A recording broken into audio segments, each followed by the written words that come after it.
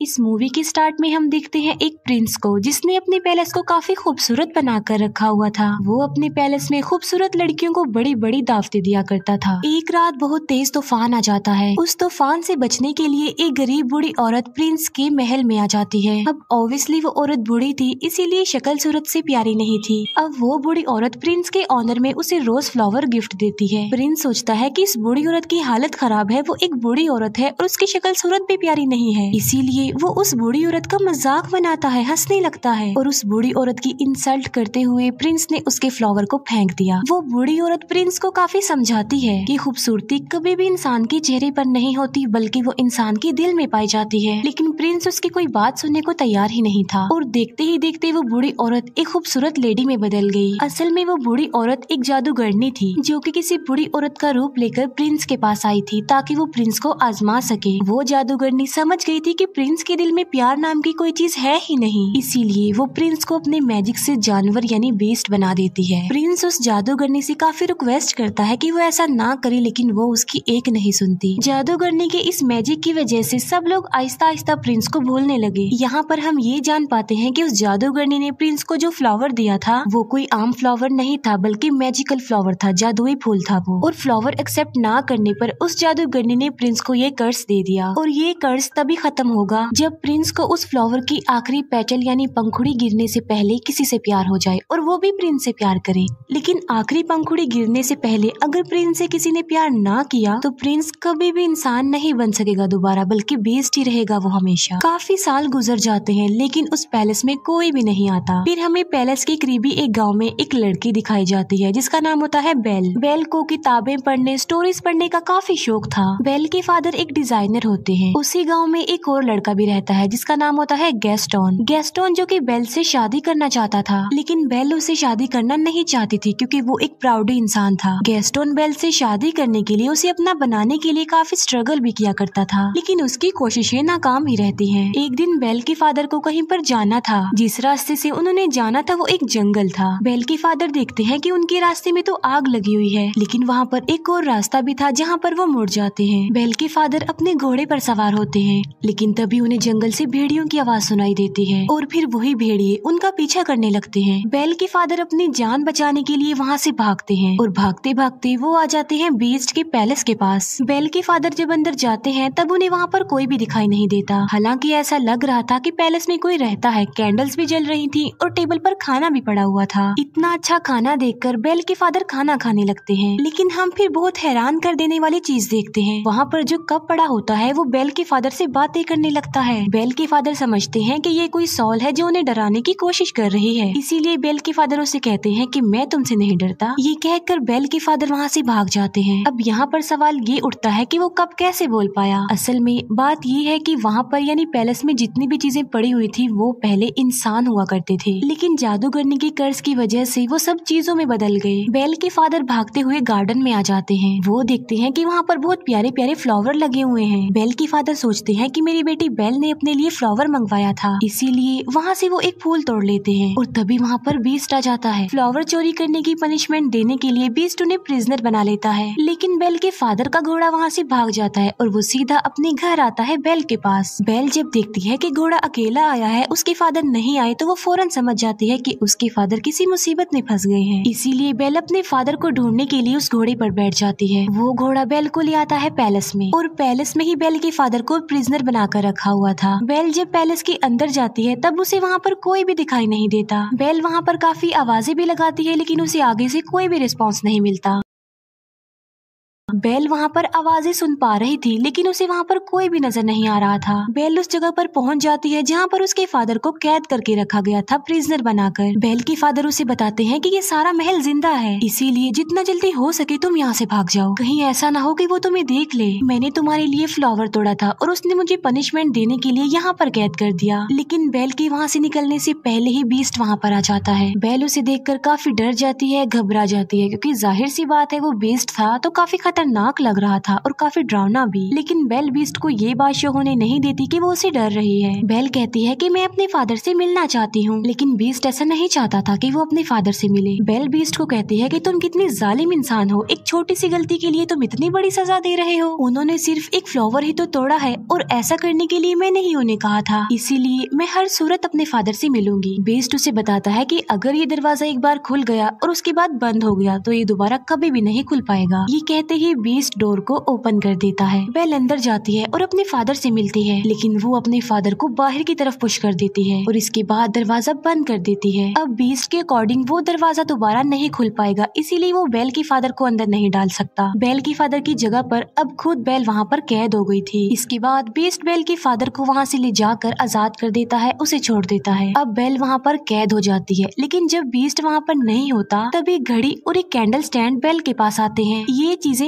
इंसान थी, लेकिन कर्ज की वजह से घड़ी और कैंडल स्टैंड में चेंज हो गई है। लेकिन ये इंसानों की तरह ही सब कुछ कर सकते हैं, सुन सकते हैं, बोल सकते हैं, चल भी सकते हैं। वो दरवाज़ा खोल देते हैं और बेल को कहते हैं कि तुम हमारे साथ साथ आओ। वो बेल को कहते हैं कि हम तुम्हें रहने के लिए एक अलग रूम देंगे, क्योंकि वो समझ गए थे कि बेल ही वो लड़की हो सकती है जो उन्हें इस कर्ज से आज़ाद करवाएगी। वो बेल को रहने के लिए एक रूम देते हैं। जब इस बात का बीस्ट को पता चलता है तो उसे काफ़ी गुस्सा आता है। इसीलिए वो घड़ी और कैंडल स्टैंड को डांटता है और उन पर गुस्सा करता है, जिस पर वो दोनों कहते हैं कि शायद ये ही वो लड़की है जो हमें इस कर्ज से आज़ाद करवाएगी। तुम्हें उसके करीब जाना चाहिए, उसे इम्प्रेस करना चाहिए और उसे प्यार भी करना चाहिए। वो बीस्ट को मशवरा देते हैं कि तुम बेल के पास जाओ और उसे अपने साथ खाने के लिए इनवाइट करो। ये बात सुनकर बीस्ट को उन पर गुस्सा आता है। वो उनसे कहता है कि क्या तुम पागल हो गए हो कि मैं एक चोर की बेटी को खाने के लिए इनवाइट करूँ, उसके साथ खाना खाऊं? ऐसा कभी भी पॉसिबल नहीं हो सकता। लेकिन जब उसके सारे लोग उसे काफ़ी इंजिस्ट करते हैं तो वो इस बात के लिए मान जाता है, क्योंकि उन सबके कर्ज होने की रीजन कोई और नहीं, बल्कि बीस्ट है। बीस्ट बेल के पास जाता है। वो बेल को कहता है कि तुम मेरे साथ खाना खाओगी, लेकिन इसे तुम कोई रिक्वेस्ट मत समझना। बेल उसे कहती है कि तुम क्या पागल हो? पहले तुमने मेरे फादर को प्रिजनर बनाया, फिर मुझे कैद कर लिया, और अब मेरे साथ खाना खाना चाहते हो। बीस्ट दरवाजे को ज़ोर ज़ोर से पीटता है और कहता है की जो भी हो जाए, तुम तो मेरे साथ खाना खाओगी। बेल कहती है की चाहे मैं भूखी मर जाऊँ, लेकिन मैं तुम्हारे साथ खाना नहीं खाऊँगी। जिस पर बीस्ट कहता है की चलो ठीक है, मैं तुम्हारी ये ख्वाहिश भी पूरी कर देता हूँ। तुम्हें भूखा ही मारूँगा अब मैं। अब तुम्हें कोई भी खाना देगा और तुम भूखी ही मरोगी। बेल फिर भी दरवाज़ा नहीं खोलती और वो वहाँ से चला जाता है। जिस अंदाज से बेल ने बीस्ट को जवाब दिया था, उसे देख कर वहाँ सभी कर्ज चीज़ें लाइक कैंडल स्टैंड घड़ी पिर्च कप उन सबको ये कंफर्म हो जाता है की बेल ही वो लड़की है जो उन्हें कर्ज से निजात दिलाएगी। फिर हम देखते हैं बीस्ट को, जो की उसी रोज फ्लावर के पास जाता है। बीस्ट देखता है की उस फ्लावर की बहुत सारी पंखड़ियाँ गिरकर टूट गई है। ये वही रोज फ्लावर था, जिसकी खत्म होने के बाद बीस्ट हमेशा के लिए जानवर ही रहेगा। और पैलेस की जितनी भी कर्ज चीज़ें हैं, वो सारी ऐसी ही रहेंगी। हमेशा के लिए भी जान बन जाएँगी वो। फ्लावर पर बहुत ही थोड़ी पंखुड़ियाँ रह गई हैं और वो भी बहुत जल्द गिर जाएँगी। फिर हम देखते हैं बेल के फादर को, जो कि वापस अपने गाँव में आ चुके थे। वो सब लोगों को बता रहे होते हैं कि मेरी बेटी की जान खतरे में है। जंगल के पास एक पैलेस है और वहाँ पर एक बीच रहता है और वहीं पर मेरी बेटी फंस गई है। लेकिन कोई भी उनकी इस बात पर बिलीव करने को तैयार नहीं था, बल्कि वो सिर्फ़ इस बात को कहानी ही समझ रहे थे।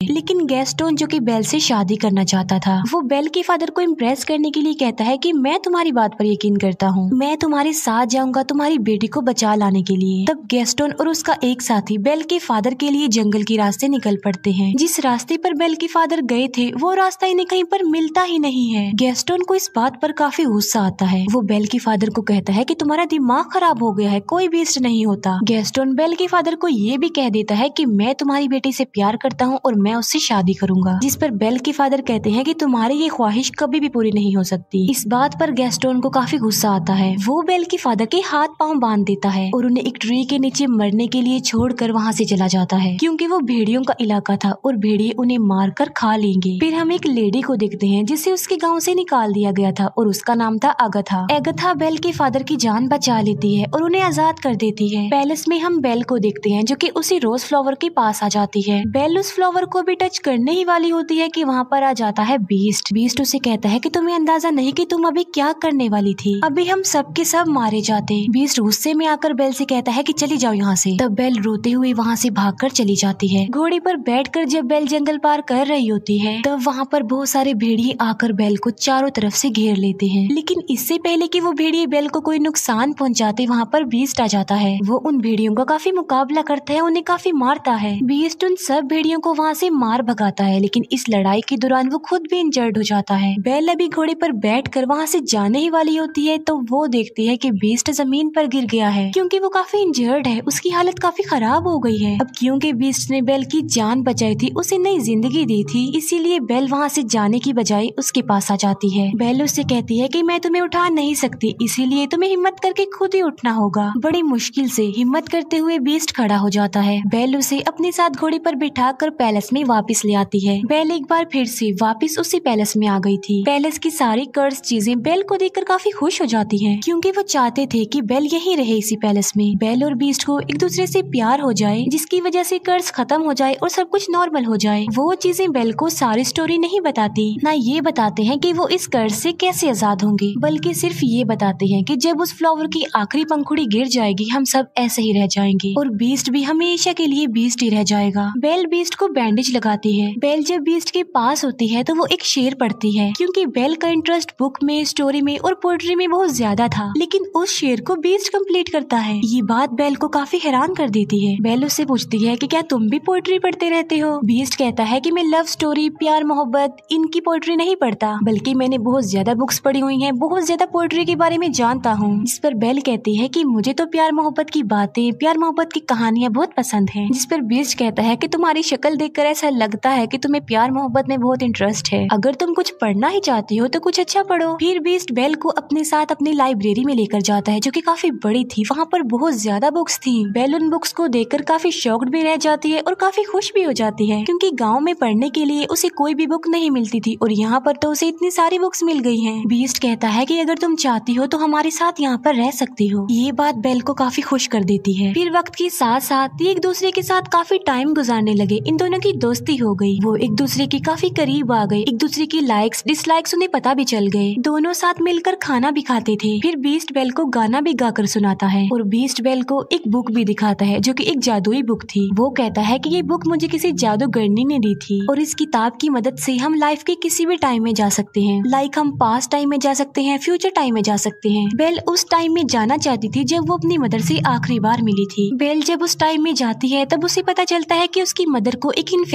हो गया था। इसीलिए बेल की मदर ने बेल के फादर को कहा था कि तुम बेल को लेकर हमेशा के लिए यहाँ से चले जाओ, ताकि मेरी बेटी को भी ये इन्फेक्शन न लग जाए।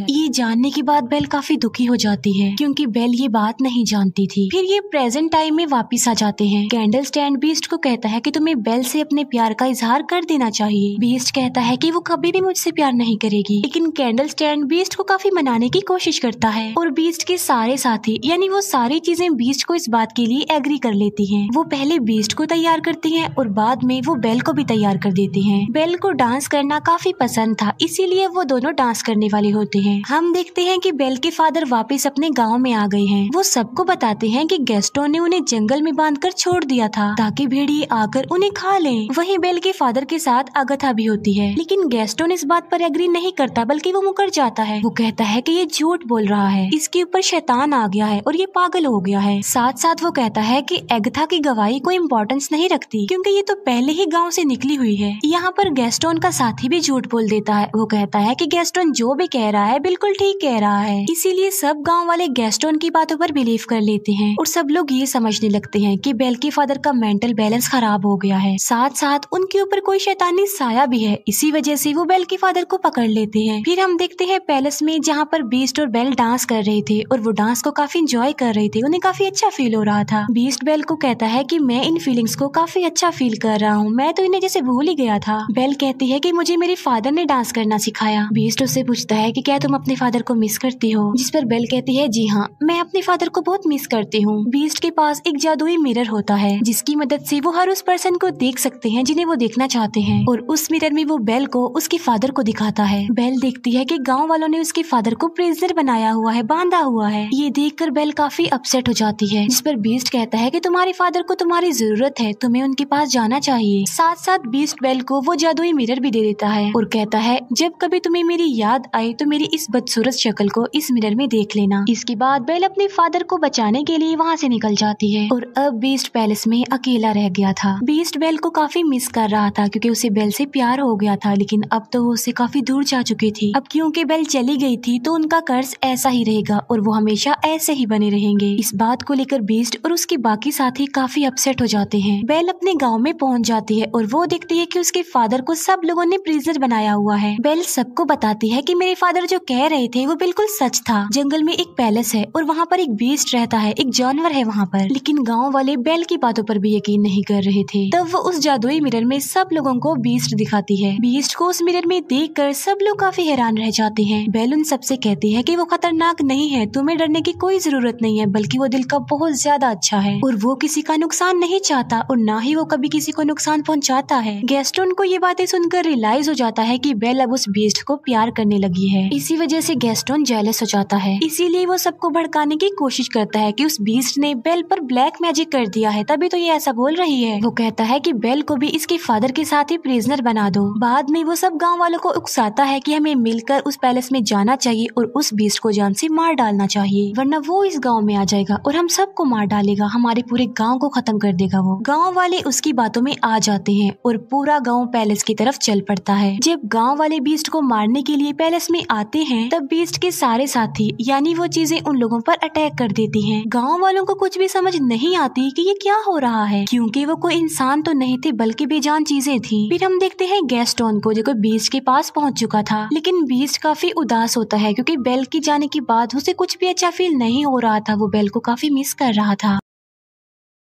गेस्टोन बीस्ट को कहता है, तुम क्या समझते हो कि बेल तुमसे प्यार करती है? बल्कि तुम्हें मारने के लिए उसने हम सब गाँव वालों को भेजा है। ये कहते ही वो बीस्ट पर गोली चला देता है और बीस्ट जाकर नीचे गिरता है। लेकिन नीचे गिरने से पहले बीस्ट टेरिस के एक टॉप को पकड़ लेता है। लेकिन इससे पहले कि गेस्टोन दूसरी गोली चलाता बेल वहाँ पर आ जाती है। गेस्टोन को रोकने के लिए बेल उसका हाथ पकड़ लेती है। इस फाइट में गेस्टोन भी जाकर नीचे गिर जाता है। गेस्टोन की गन भी उसके हाथ से गिर जाती है। बीस्ट ऊपर आने की कोशिश करता है, तभी बेल उसे आवाज़ देती है। वो बीस्ट को बताती है कि मैंने गाँव वालों को रोकने की बहुत कोशिश की थी, लेकिन वो नहीं रुके। बेल को वहाँ देखने के बाद बीस्ट के अंदर एक हिम्मत पैदा हो जाती है। और अब वो गैस्टोन का मुकाबला करना चाहता था। और अब वो पहुँच जाता है गैस्टोन के पास। वो गैस्टोन को गर्दन से पकड़ लेता है और उसे हवा में कर देता है। और बीस्ट गैस्टोन को काफ़ी ऊँची दीवार से फेंकने ही वाला होता है, जिस पर गैस्टोन बीस्ट से काफ़ी रिक्वेस्ट करता है कि प्लीज़ मुझे मत फेंको। प्लीज़ बीस्ट मुझे छोड़ दो। बीस्ट उससे कहता है कि मैं बीस्ट नहीं हूँ। ये कहते ही बीस्ट गैस्टोन की जान छोड़ देता है और उसे कहता है, चले जाओ यहाँ से। गेस्टोन वहाँ से चला जाता है और बीस्ट आ जाता है बेल के पास। मौके का फ़ायदा उठाकर गेस्टोन अब पीछे की तरफ़ से बीस्ट पर गोलियाँ चलाता है, जिसकी वजह से बीस्ट नीचे गिर जाता है। लेकिन गेस्टोन जिस जगह पर खड़ा हुआ था, वो जगह टूट जाती है और गेस्टोन भी जाकर नीचे गिरता है। इतनी ऊंचाई से गिरने की वजह से गेस्टोन मर जाता है। बीस्ट की हालत काफ़ी खराब हो जाती है, क्योंकि वो काफ़ी इंजर्ड था और अपने आखिरी सांस गिन रहा था। बेल बीस्ट को कहती है कि, अब के बाद मैं तुम्हें कभी भी छोड़ के नहीं जाऊँगी। जिस पर बीस्ट कहता है, लेकिन अब मेरी तो जाने का वक्त हो गया है। जिस पर बेल कहती है कि तुम्हें कुछ नहीं होगा, सब कुछ नॉर्मल हो जाएगा। और हम देखते हैं कि उस फ्लावर की आखिरी पंखुड़ी भी गिर जाती है। जैसे ही वो पंखुड़ी गिरती है बीस्ट बिल्कुल खामोश हो जाता है। और वहाँ पर बीस्ट के जितने भी साथी थे, यानी वो चीज़ें थी, वो भी एकदम से बेजान हो जाती है। बीस्ट को मरता हुआ देख कर बेल को काफ़ी दुख होता है और उसकी आँख में आँसू होते हैं। यहाँ पर बेल भी अपने प्यार का इजहार कर देती है। वो बीस्ट को कहती है, मैं तुमसे बहुत प्यार करती हूँ। और वो बीस्ट के करीब भी आती है। तभी वहाँ पर एगथा भी आ जाती है। एगथा जिसे गाँव के लोगों ने निकाल दिया था। असल में बात ये नहीं थी, बल्कि वो जादूगर ने कोई और नहीं, बल्कि एगथा थी। वो देखती है कि बीस्ट को किसी से प्यार हो गया है, और वो लड़की भी अब बीस्ट से प्यार करती है। यानी अब वो कर्ज खत्म हो गया है। और देखते ही देखते बीस्ट के चारों तरफ़ रोशनी ही रोशनी चमक उठती है, और बीस्ट अब एक खूबसूरत प्रिंस में चेंज हो जाता है। ये देखकर बेल काफ़ी खुश हो जाती है। वो दोनों एक दूसरे को देखकर काफ़ी खुश होते हैं, एक दूसरे के पास आते हैं, और एक दूसरे को गले से लगा लेते हैं। और पैलेस की जितनी भी कर्ज चीज़ें थी, अब वो इंसान बन गई थी, यानी अपने असली रूप में आ चुकी थी। सब लोग काफ़ी खुश हो जाते हैं। बेल और बीस्ट पैलेस में सब लोगों के बीच में डांस कर रहे होते हैं। और इसी के साथ ही इस मूवी की हैप्पी एंडिंग हो जाती है। Thank you for watching